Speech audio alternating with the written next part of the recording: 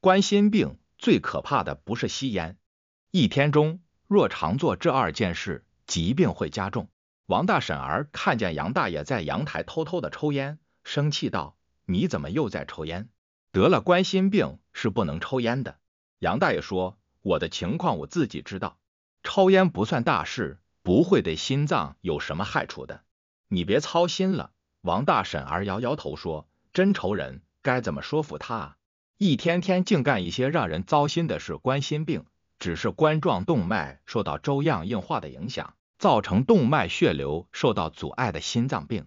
按照杨大爷说法，抽烟真的不会对心脏造成伤害吗？冠心病最可怕的不是吸烟吗？”首都医科大学附属北京胸科医院心脏中心副主任医师指出。吸烟会促进冠心病的发展。要知道，在日常生活中，引起冠心病的因素有很多，主要有五大高危因素：高血压、高血糖、高血脂、吸烟以及老龄。所以，一般情况下，什么因素能导致粥样硬化的情况恶化的最严重，什么因素就最可怕。像杨大爷一样，很多患有冠心病的人都觉得。吸烟对心脏的害处远远没有高血压、高血糖大。其实不然，在烟草中，尼古丁是主要成瘾物质，它能在极短时间内到达大脑，使吸烟者产生轻松愉快的感觉。但是，它也能让心脏的负荷增加，促进血压的升高，甚至还能让粥样硬化，瞬间堵塞血管，导致心梗。一天中若常做这二件事，冠心病会加重。张阿姨今年五十四，由于喜爱吃猪脑的食物，她患上了高血脂。过了一年，又被诊断为冠心病。即使身患这么严重的病，张阿姨还是坚持在家办公。长时间久坐总是让她的下肢浮肿，再加上张阿姨一如既往的吃着富含高脂肪的食物，最终还是导致了心梗的发生。家属非常心痛。同时也非常不理解，才年过半百，为何就这样早早去了？医生摇头道：“一天之内做了两件错误的事情，这样怎么能身体好呢？”家属不解，忙问道：“他到底做了什么事？平时按时吃药，又不抽烟，平时情绪从来不激动，为什么还会心梗呢？”医生说道：“虽然按时吃药降脂，但是总是没作用，是因为什么？”因为平时的饮食总是高脂肪，平时总是久坐，一天之内做了两件不利于身体内的脂肪消耗的事情，自己一点都没有察觉，这样怎么能不出事呢？冠心病患者应该如何保养自己？冠心病患者大多在饮食上控制不住自己，在此提醒两点：一、控制高脂肪、高胆固醇食物的食用，少吃动物内脏。许多冠心病患者对食用动物大脑的危害没有概念。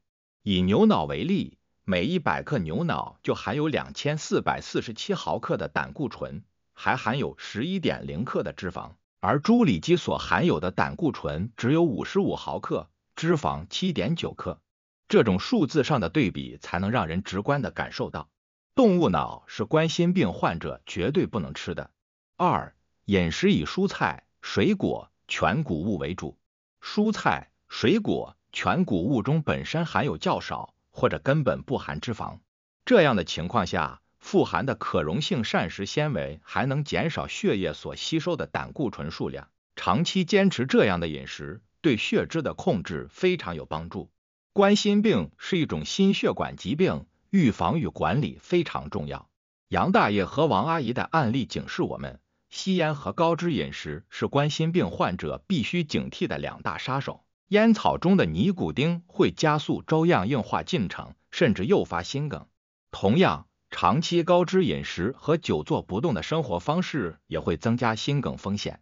为了控制病情，要坚决戒烟，远离烟草，还要调整饮食结构，减少动物内脏、动物脑等高脂肪、高胆固醇食物的摄入，而以蔬菜。水果和全谷物为主，同时要避免久坐，以免增加形成血栓的负担。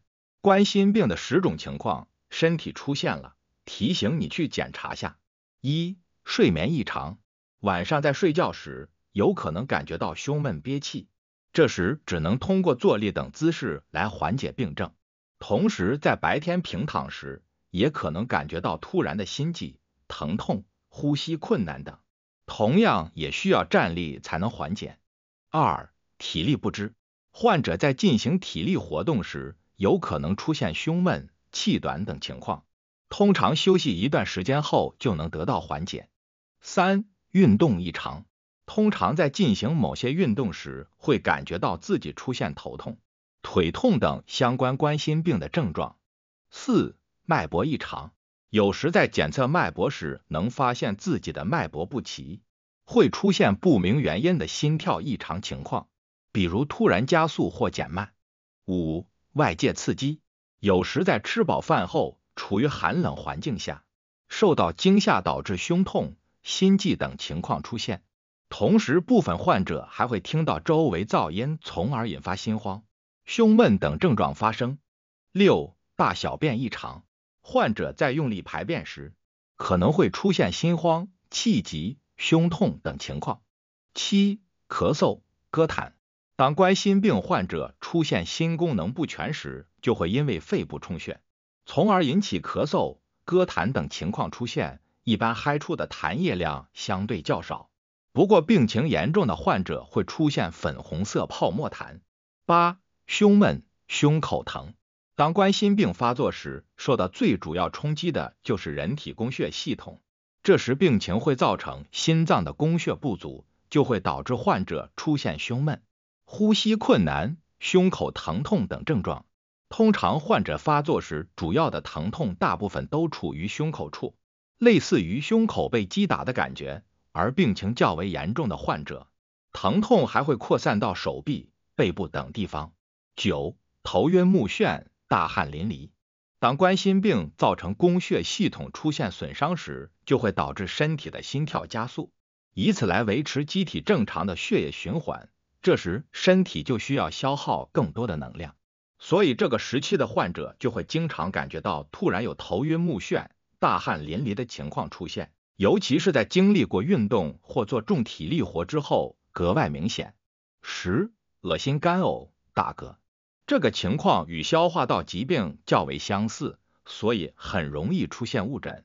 当患者的冠状动脉出现异常情况时，比如出现胸痛、胸闷、呼吸困难等，就会影响到消化系统，从而造成患者出现长时间打嗝症状。有时还会伴有不同程度的恶心干呕。冠心病大多出现在中老年人群，尤其是患有三高的群体或具有遗传性冠心病的群体。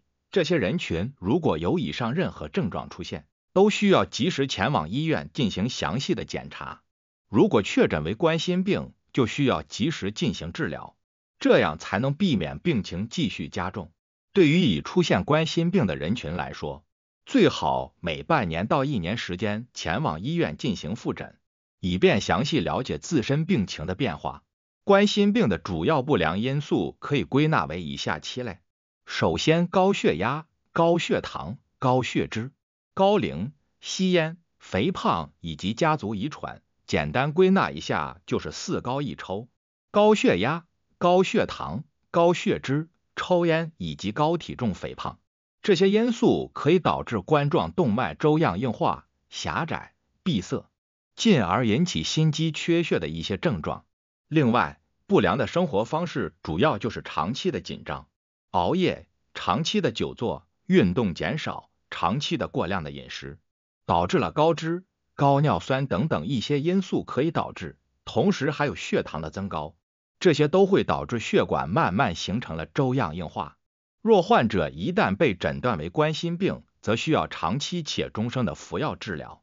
另外，还需要积极进行生活方式的干预，否则可能会导致出现心力衰竭、心律失常，导致缺血性心肌病，甚至出现猝死的情况。那么，应该如何预防？首先，其有四道防线。一、第一道防线就是在还没有发生冠心病的时候，进行积极的治疗。进行高危因素的管理，其中就包括了控制好血压、血糖、血脂、体重以及吸烟等等危险因素。二，第二道防线就是已经出现了冠心病，要防止其出现严重的后果，也就是心衰、心律失常、心肌病，防止冠心病的进一步进展。三、第三道防线就是当其已经出现了这些把器官功能的损伤，这时要防止患者出现猝死，因为冠心病人是猝死的高危人群，患者要积极的预防，防止发生急性的心脏的意外。四、第四道防线，冠心病一旦发生。将是一个终身的疾病，患者需要进行终身的服药，防止再发作。就算是心肌梗塞，经过了积极的药物和介入的干预之后，还有可能再次发生第二次心肌梗塞。因此，这点也是预防的一个重要的环节。